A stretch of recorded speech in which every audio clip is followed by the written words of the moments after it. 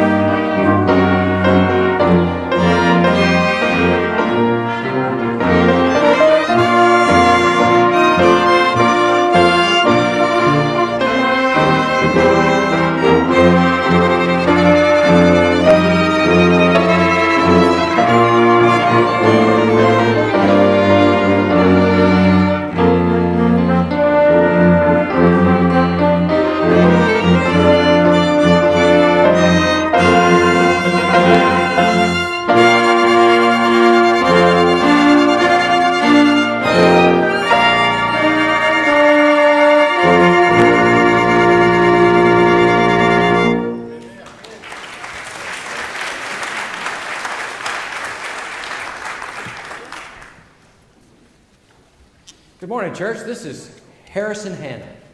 Harrison, do you confess with your mouth Jesus is Lord and believe in your heart that God raised him from the dead? Yes. In obedience to the command of our Lord and Savior Jesus Christ, and upon your profession of faith in him, I baptize you, my brother, Harrison Hanna, in the name of the Father, the Son, and the Holy Spirit.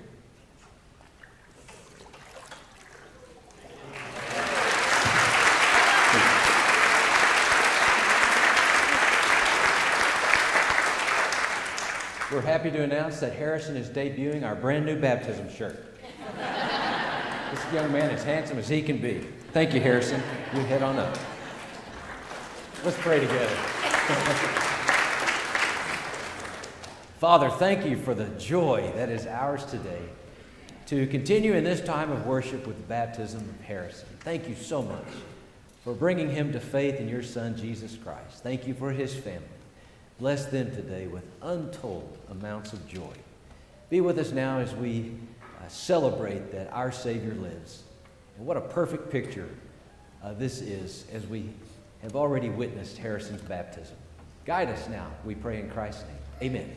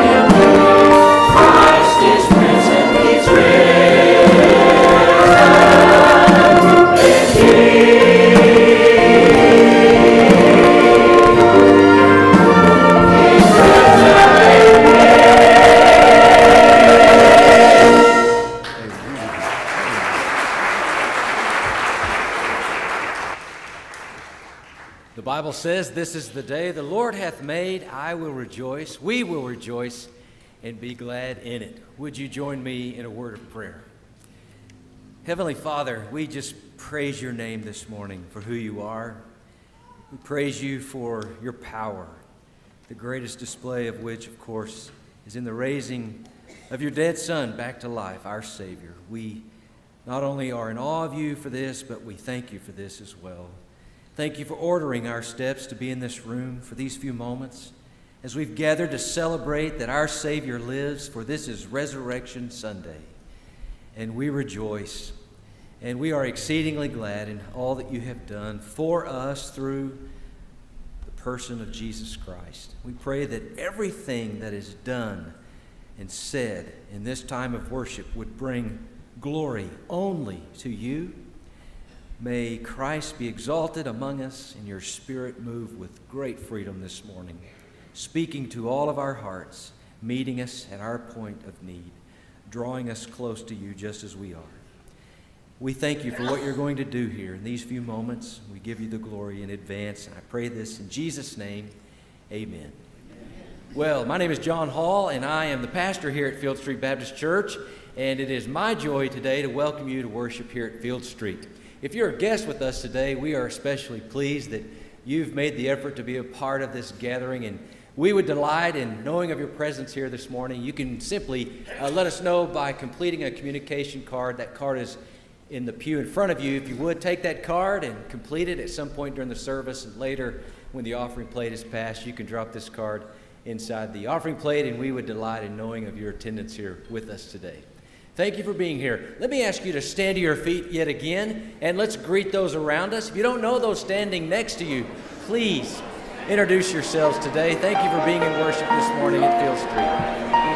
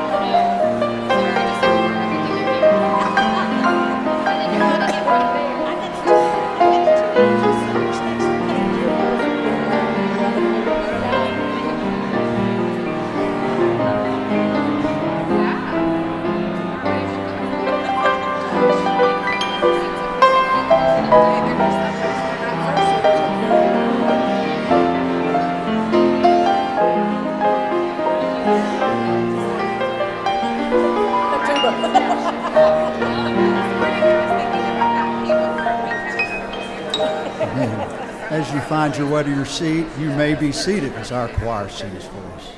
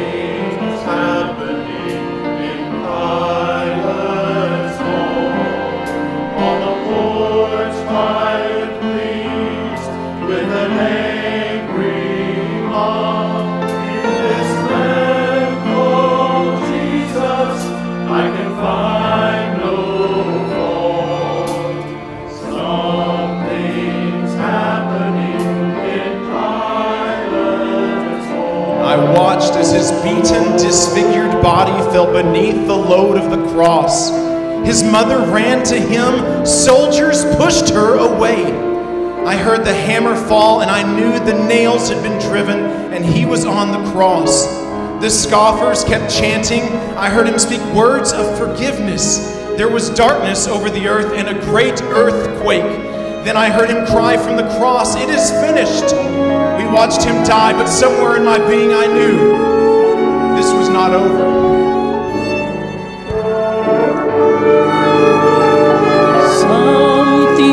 Something's happening at Joseph's grave, where Jesus of Nazareth has laid three days. And the morning, in the morning, how the earth began to quake. Something's happening at Joseph's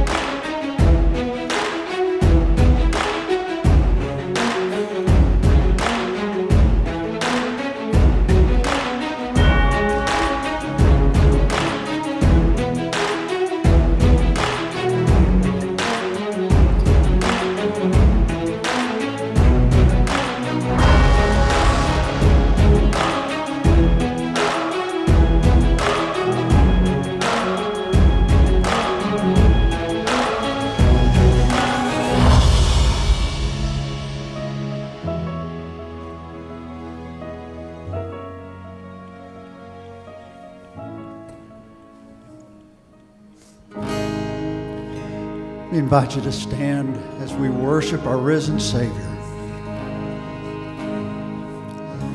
Alone in my sorrow and dead in my sin. Lost without hope and no place to begin. Your love made a way to let mercy come was arrested and my life began. Ash was redeemed, only beauty remains. My orphan heart is given a name. My mourning grew quiet, my feet rose to dance. When death was arrested my life began. Oh, your grace so free washes over me. You have made me new. Now life begins with you. Released from my chains, I'm a prisoner no more. My shame was a ransom faithfully. And he canceled my debt and he called me his friend. When death was arrested and my life began.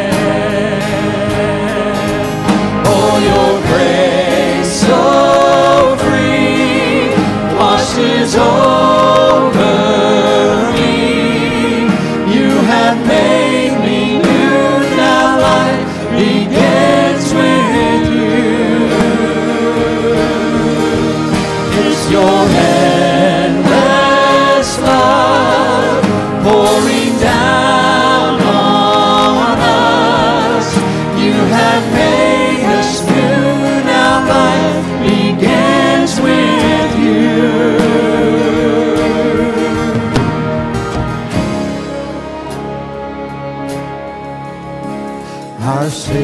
Savior displayed on a criminal's cross.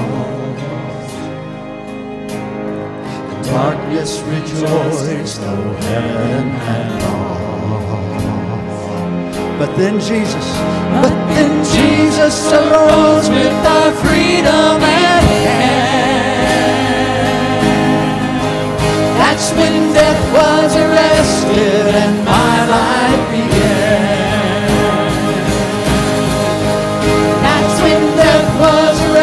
And my life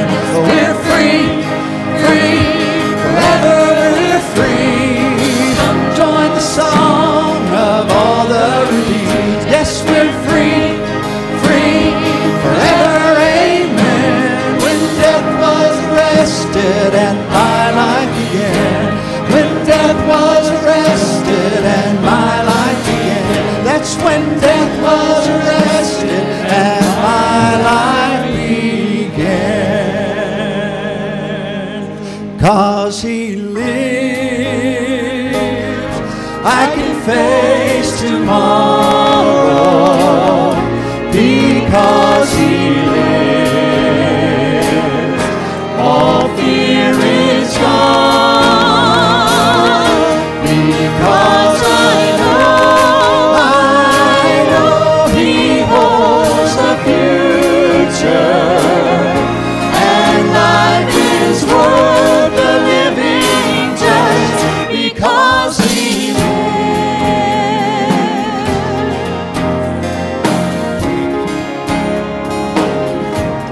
God's Son. They called him Jesus. He came to love, heal, and forgive. He lived and died to buy.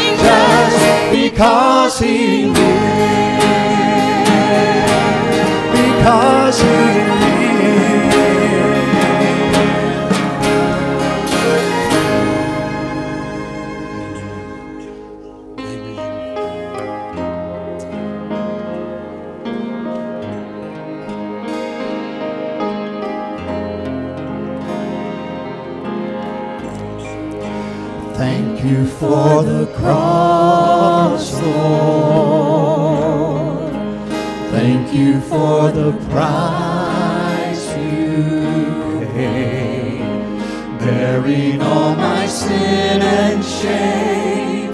In love you came and gave amazing grace. Thank you for this love, Lord. Thank you for the nail-pierced hands. Wash me in your cleansing flow. Now all I know, you're forgiven.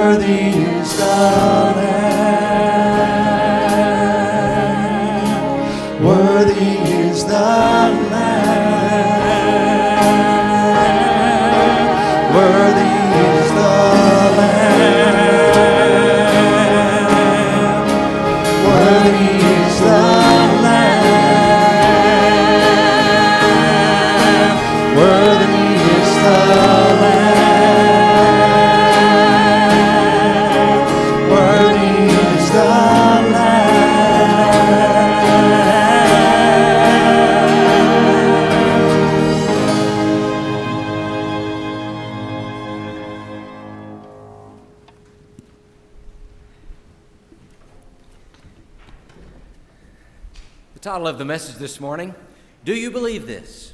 Do You Believe This? In a moment, I want us to turn to the Gospel of John, where we will look into chapter 11, verses 17 through 27. But before we get to the sermon text in John's Gospel, we must read from the definitive statement in all of the Scripture regarding the resurrection of Jesus Christ, and it's important to us as followers of Christ. So please open your Bibles first to 1 Corinthians 15. 1 Corinthians 15, find verse 12, and we're going to read just five verses from 1 Corinthians 15. Now, because this is such a special Sunday, Resurrection Sunday, we cannot read these verses sitting down. Would you please stand for just a few more moments as we read verses 12, 14, 15, 17, and 20? Don't worry, I'll direct your attention to these. Beginning in verse 12, the Apostle Paul writes, But if it is preached that Christ has been raised from the dead, how can some of you say that there is no resurrection of the dead? Verse 14, And if Christ has not been raised, our preaching is useless, and so is your faith. Verse 15. More than that, we are then found to be false witnesses about God. For we have testified about God that he has raised Christ from the dead. But he did not raise him if, in fact, the dead are not raised. Then, verse 17, which you could argue is the most important verse in all of the Bible. Verse 17 says, And if Christ has not been raised, your faith is futile, you are still in your sins. Finally, verse 20, Paul says, But Christ has indeed been raised from the dead. Let's pray together. Thank you for the declaration of Holy Scripture that you, Father, have raised your Son from the dead. And we are here this morning to celebrate this incredible truth and reality. And thank you for the hope that gives us. Thank you that we can face tomorrow because Jesus Christ lives. And we thank you that even now our Savior is seated at your right hand, interceding on our behalf according to your will. Lord, we ask that your Spirit would open our minds and our hearts to what you want to say to each one of us this morning through this message. I pray in Christ's name. Amen. Thank you. You may be seated. For a number of years now, it has been my humble and consistent contention that the single most important event in all of human history is the resurrection of Jesus Christ. The physical, literal, bodily resurrection of Jesus Christ is absolutely the linchpin, the cornerstone, the foundation, and the hinge point of the entire Christian faith. So today is not business as usual. This is not like any other Sunday on the Christian calendar. This is Resurrection Sunday when we celebrate that Jesus lives. Perhaps you heard the story about a, a, Sunday school teacher who was taking her little boys and girls to church, and on the way to big church, she asked the question Boys and girls, why is it so important that we are quiet in church? And one smart little girl with a twinkle in her eye said, Because people are sleeping. Now, this is not a day in which you can sleep, folks. You want to be wide awake for the experience we have uh, together as we've come to celebrate that Jesus lives. So you can't sleep today. Absolutely not. Or maybe you heard the story about this little girl named Angie. She, she was six years old, and her brother Joel was four years old. Her and Joel were sitting together in big church, and Joel giggled, sang, talked out loud, and finally his big sister had had enough. You're not supposed to talk out loud in church, Joel. Why? Who's going to stop me? And Angie pointed to the back of the church where two men were standing. He said, You see those men back there? They're hushers. Hushers.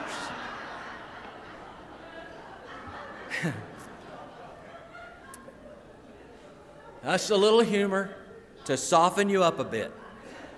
I think it was Charles Spurgeon who said, You got to tickle the oyster before you can stick the knife in.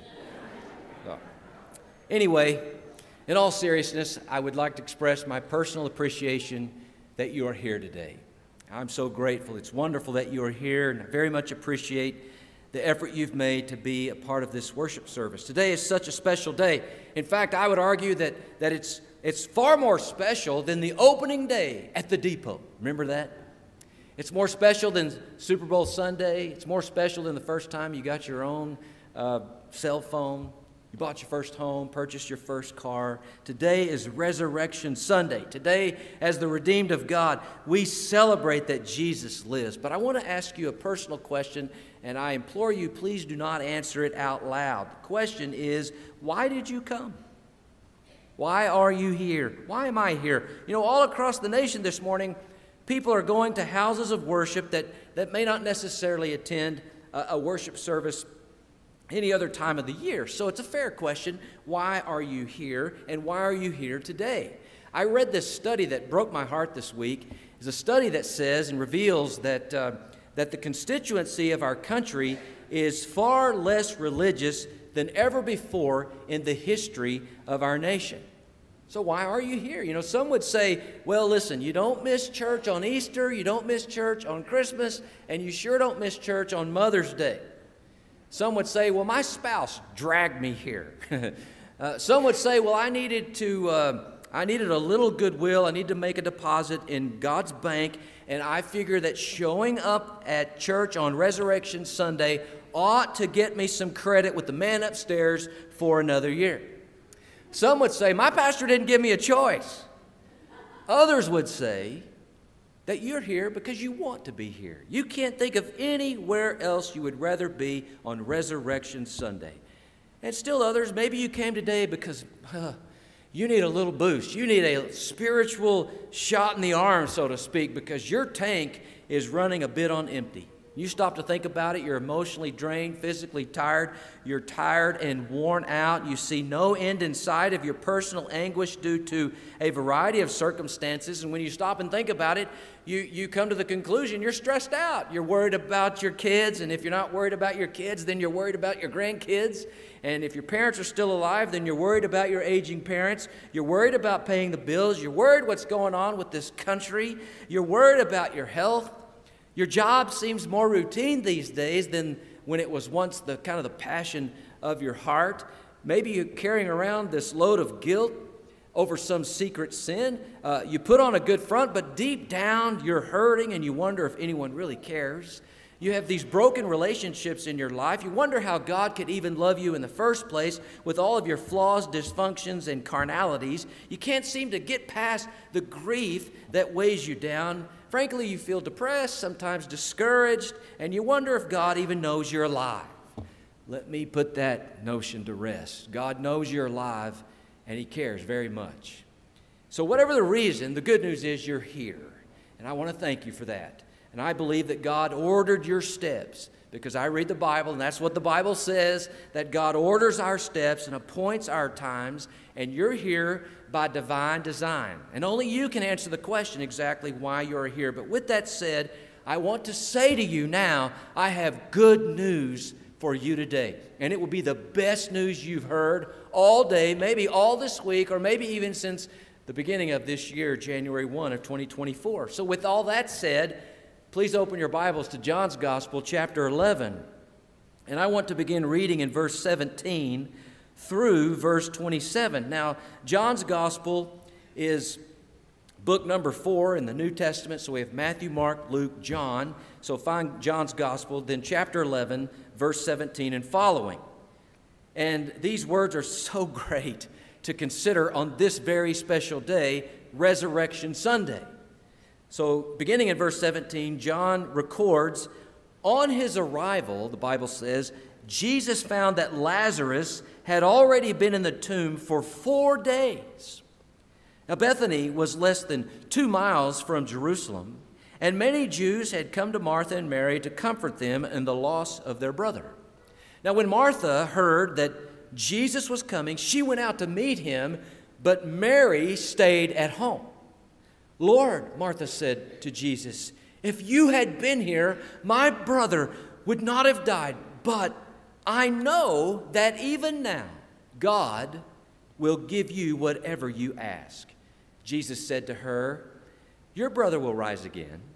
Martha answered, Well, I know he will rise again in the resurrection at the last day. Jesus said to her, I am the resurrection and the life. He who believes in me will live even though he dies. Do you believe this? Yes, Lord, she told him. I believe you are the Christ, the Son of God, who was to come into the world. I want to ask you what Jesus asked to Mary. Do you believe this? Do you believe this? Such a great question, especially when you consider who it is that is asking the question. Now, let me give you a little context uh, surrounding this passage of Scripture. It's helpful to know. It turns out that Jesus was very close. He had a great friendship with this little family that lived in Bethany, which was near Jerusalem. And when Lazarus became sick, Lazarus' sisters sent an urgent message to Jesus about Lazarus' sickness. Now, inexplicably, Jesus, the Bible tells us, did not respond until many days later. When Jesus finally did arrive, Lazarus was gone. Lazarus was dead. Now, that's very interesting because it's only two miles from Bethany to Jerusalem, maybe even less than that. And all of us in this room could walk that distance quite easily in less than an hour. But Jesus, he doesn't arrive as soon as those thought he should. Now, a sizable crowd had gathered at the home of Mary and Martha. Why, why were they there? Well, it turns out that an essential duty of Jewish piety was to engage in comforting the bereaving family. And Bethany, as I've already stated, was less than two miles from Jerusalem, so many were able to make that quick trip and go and minister to this grieving family. So, three days, this is also interesting, three days after death were called days of weeping. Which were then followed by what we know as four days of lamentation, for a grand total of seven days of mourning. Now, this is even more interesting. According to rabbinical thought, the spirit wanders about the grave for three days, seeking an opportunity to return into the body. But when the aspect of the body changes, it hovers no more, but leaves the body to itself. So the friends of the deceased were then in the habit of visiting the grave for three days after death and burial, probably because, as they supposed, they would thus be nearer to the departed soul. So when the fourth day came and decomposition took place, and the soul, as they suppose, went away from the grave, they would then beat their breasts and make loud lamentations. That explains the allusion in John's gospel to the four days in this text in verse 39. So the saying that one had been in the grave four days was equivalent to saying the bodily corruption had begun. He's dead. And Jesus knows exactly what he's doing and the timing of what he's going to do. Now, in verse 20, if you look at that verse again, we read that Martha, upon hearing that Jesus was coming, went out to meet him, but Mary stayed at home. And then in verse 21, Martha exclaims, Lord, if you had been here, my brother would not have died. But I know that even now, God will give you whatever you ask. And Jesus responds beautifully by saying, Your brother will rise again. At which Mary declares, well, Yeah, I know that. He, he will rise again in the resurrection at the last day. It's almost as if Martha is saying, I got that silly. I know that. But what Jesus is saying, it's so important to remember this and to note that what Jesus meant when he said this was Lazarus is going to live again in a few moments. And if you'd like to read ahead in chapter 11, it all takes place at verse 43. So Martha meant the future resurrection at the last day. And you know, of course, that one of the core doctrines of the Christian faith is the bodily resurrection of Jesus and the impending future bodily res- resurrection of the believing dead. You say, well, where is that found in the Bible? I have to read that. It's in 1 Thessalonians chapter 4, verses 13 through 17. Listen to this. This is fantastic on Resurrection Sunday. In verse 13 of 1 Thessalonians 4, Paul writes, Brothers, we do not want you to be ignorant about those who fall asleep or to grieve like the rest of men who have no hope. We believe that Jesus died and rose again, and so we believe that God will bring with Jesus those who have fallen asleep in him. According to the Lord's own word, we tell you that we who are still alive, who are left till the coming of the Lord, will certainly not precede those who have fallen asleep. For the Lord himself will come down from heaven with a loud command, with the voice of the archangel, and with the trumpet call of God and the dead in Christ will rise first. After that, we who are still alive and are left will be caught up together with them in the clouds to meet the Lord in the air, and so we will be with the Lord forever. Great verses. Now look at verse 25. And here we have the Lord's fifth, what we call I am statements. Jesus said to her, I am the resurrection and the life. He who believes in me will live, even though he dies. And whoever lives and believes in me will never die. Do you believe this? Do you believe this? All who believe in Jesus, Jesus says, even though they experience physical death, will live for eternity. Even though a believer in Jesus Christ dies physically, he or she will live for eternity.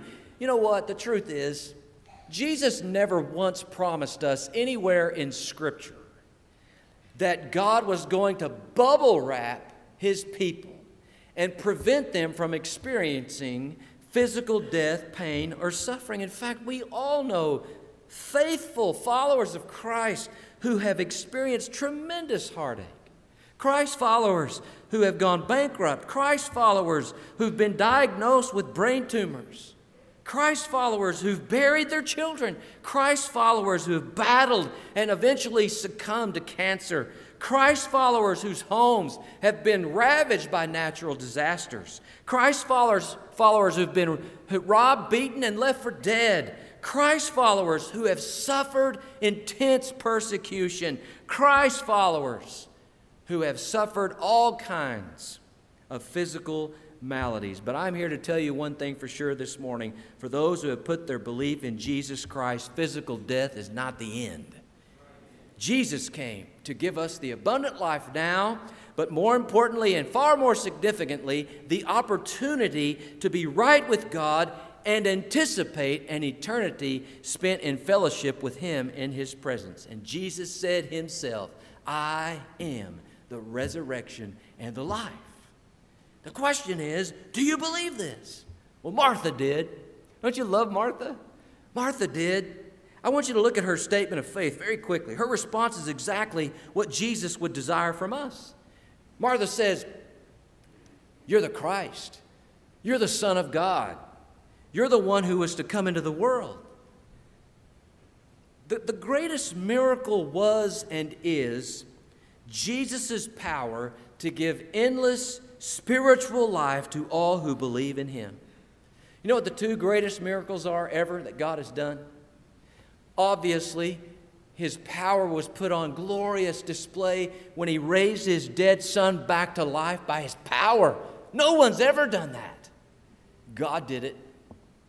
And secondly, when God saves a sinner, that is the power of God on display. When God saves us, brings us out of spiritual darkness into the light, and changes our status from being spiritually dead to spiritually alive. It's one of the greatest miracles ever. And this miracle can happen to all and any who will repent of their sin, who will believe in the Lord Jesus Christ, who will confess that Jesus is the Son of God, who will commit themselves to Him. Say, how do you know that? I've read about it in Romans 10.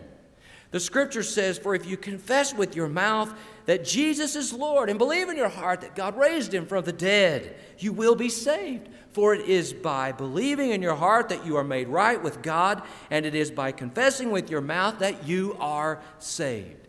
And Christ demonstrates his power over death. Therefore, I can say in all confidence and with the authority of the Bible that there's no circumstance in your life this morning over which Christ is not sovereign and in which he is impotent to help. So, you have to answer the question for yourself Do you believe this? The truth is, some will, some won't. It has always been this way. Some will outright reject the Bible's claims about Jesus or even Jesus' claims about himself. But there are others who will believe. Others will believe that Jesus is the Christ, the Son of God, and the only one who can save them from their sin. Some will respond in repentance and faith, and some will seek this very moment the forgiveness of God and put their trust in Christ. Oh, dear people, you know why I'm here today?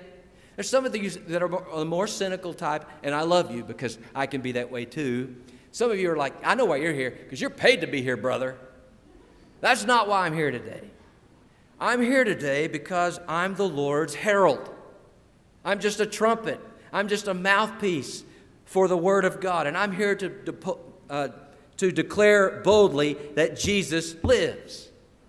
Verse 20, 1 Corinthians 15, Paul says, But Christ has indeed been raised from the dead So, the greatest event in all of human history paved the way for all who repent and believe to be saved from their sin and to have a relationship with God through Christ. That's the good news. How will you respond? May I suggest you come to Jesus this morning? That you lay your burdens down at his feet, that you lay your sins before his cross, receive his grace, his mercy, and his forgiveness. You say, you know what? I want to do that. How do I do that?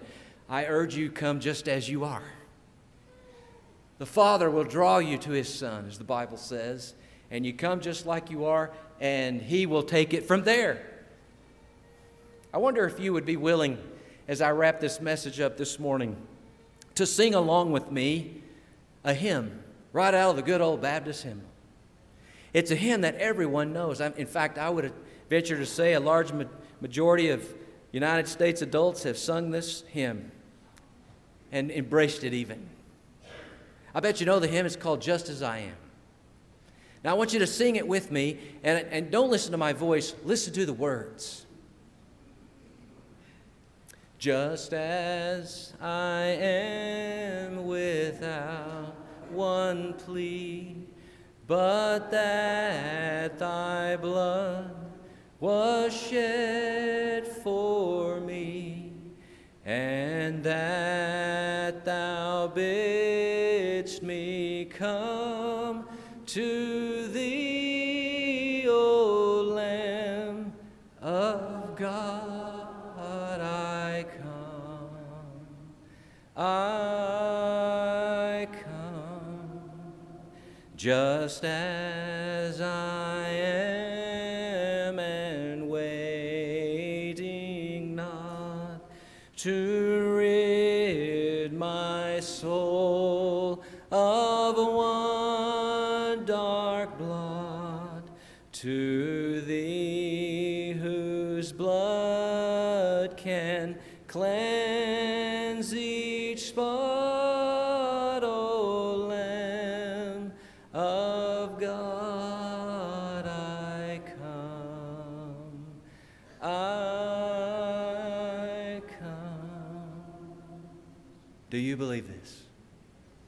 pray together. Father, thank you so much for the power of the Scripture. Thank you for your power that raised your dead son back to life on the third day. And thank you that you will save any and all who will cry out to you in repentance and faith.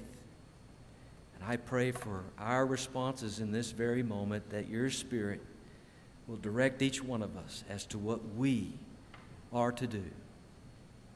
And regarding the question, do you believe this? Lord, I do. I do. And I thank you for saving me. Thank you for saving my wife and my children. And I pray for any present this morning that has not yet experienced the new birth, that today would be the day of salvation to your glory. I pray this in Jesus' name. Amen. In a moment, I'm going to ask you to stand to your feet. We're going to sing a song of response. Perhaps your response this morning would be, you know what? You've asked the question, do you believe this? And I do. And I want to be saved. I want to come to Christ. I urge you to do that this morning. You come in repentance and faith in Jesus, and He will take it from there and make you what He wants you to be. Will it be easy? Absolutely not. Will it be worth it? Absolutely yes.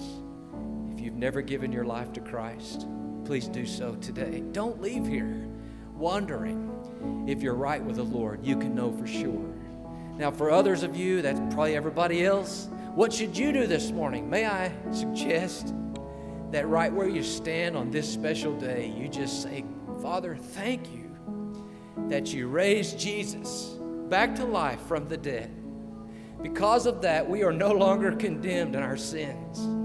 If Jesus was still dead, we are condemned. I'm quite certain that would be an expression that God Himself would find such delight in hearing His children thank Him for the resurrection of His Son. Would you do that? Maybe others would come this morning uniting with our church. If that's God's plan for you, we would receive you warmly. I wish I knew what you should do and I would tell you. but I don't. That is, as I've said so many times, between you and God. I'll stand here at the front this morning to receive any that might feel compelled to come publicly today. These moments are over very, very quickly. So I urge you to respond as God's Spirit prompts you. Would you stand to your feet, please, as we extend this time of response? You come. As I am without one plea, but that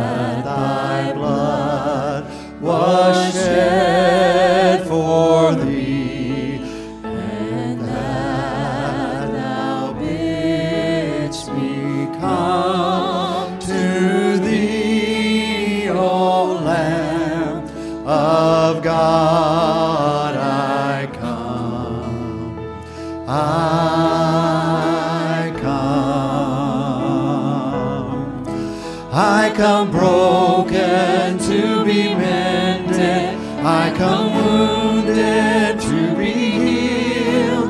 I come desperate to be rescued. I come empty to be filled. I come guilty to be pardoned by the blood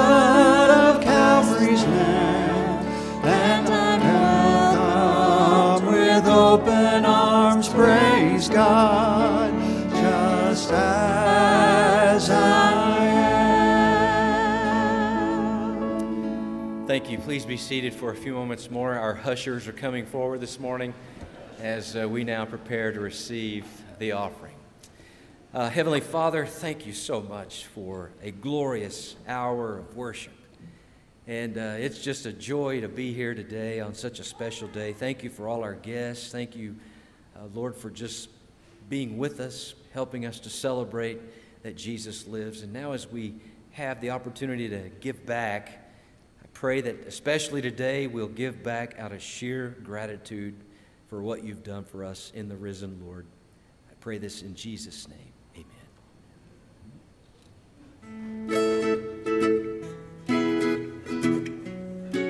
They put a thorn crown on his head.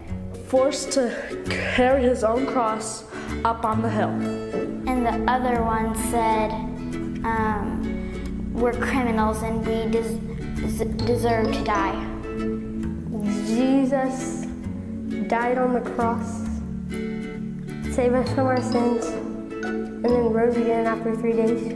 They wrapped him with bandages. He put him in a cave and rolled the tomb in front of it. And two guards were making sure that nobody stole Jesus.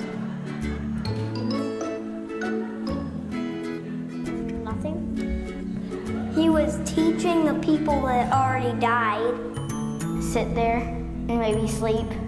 Made a plan, maybe? Three days later, there was an earthquake.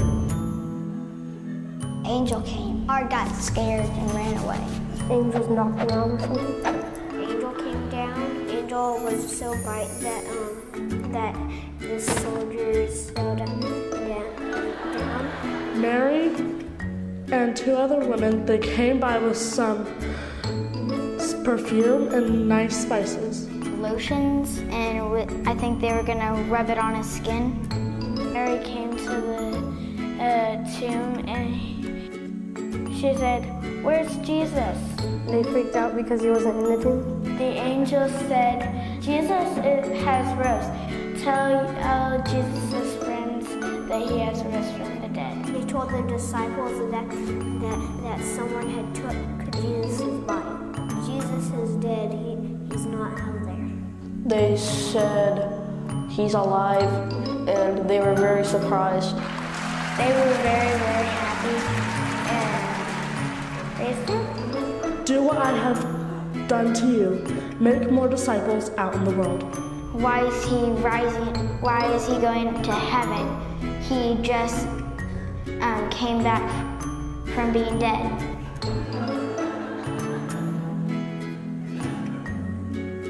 Confused. Very, very confused. And happy. Probably take a picture or something to remember it. Okay, Messiah, we will do what you have said. We will make more disciples for you.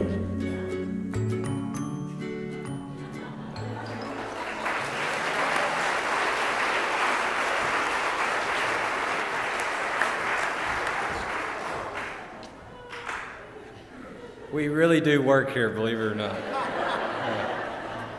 tell you what. Anyway, okay. Uh, it's, it's such a joy to present to you this morning Annabelle Morrow. Annabelle, would you come stand here at the front? And I'll have your parents join you, Gayla, and of course, Jonathan, if y'all stand with your daughter. Annabelle is coming today to let us know she's already trusted Christ as her Savior, but now desires to follow the Lord's example and His command in scriptural baptism. And so we welcome Annabelle, yes?